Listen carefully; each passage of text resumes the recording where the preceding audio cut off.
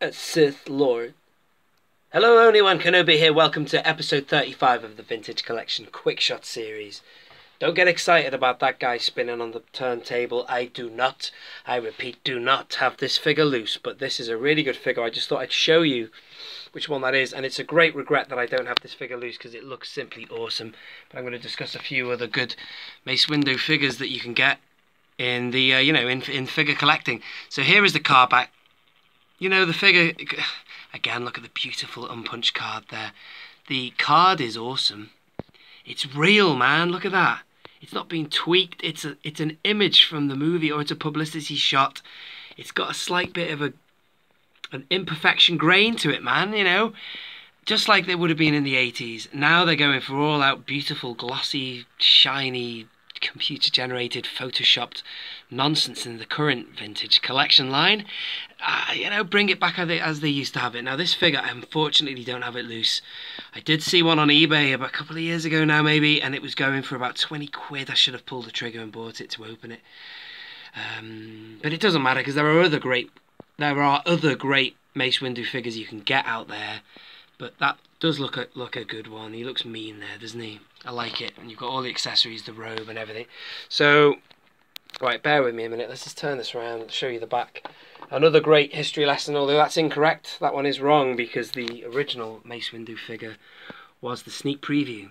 You see, they got the sneak preview for, excuse the shaky camera, they got the sneak preview for the Jango Fett correct, so what the hell were they doing in the research department when they decided to print this?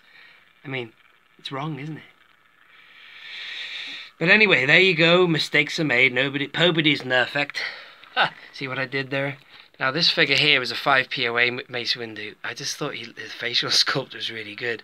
Um, he's a 5 POA one that came from the Mission series of the Saga collection. Or Saga, Saga Legends, I beg your pardon.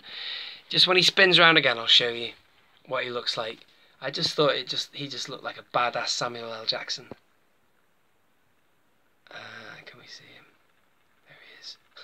But he's 5 POA, so we can't do much. But he looks good. He didn't come with that robe, by the way. That's a spare robe I put on him. And I just thought, well, you know, shoot, man. I don't have that figure loose, but man, you can get another one that's decent. I'm just walking away from the camera for a second because I'm going to find another really good Mace Windu figure. And it's this one here since we're talking about Mace. Let's move in on that one. And um, now this one has got two possibilities. Number one, it's a decent Samuel L. Jackson, probably a, a better, superior head sculpt.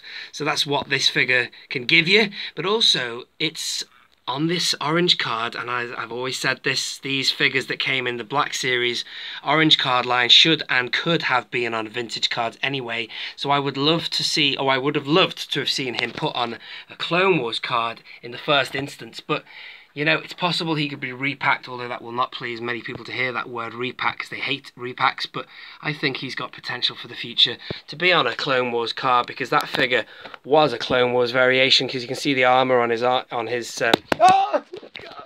You can see the armor on his wrist there, so that would be cool to have an Ahsoka, Anakin, Obi Wan, and Mace Windu. Anyway, I hope you have enjoyed. I'm just trying to get the camera steady. Come on, man. Hope you have enjoyed that video. This has been Only One Kenobi. Only one. Out.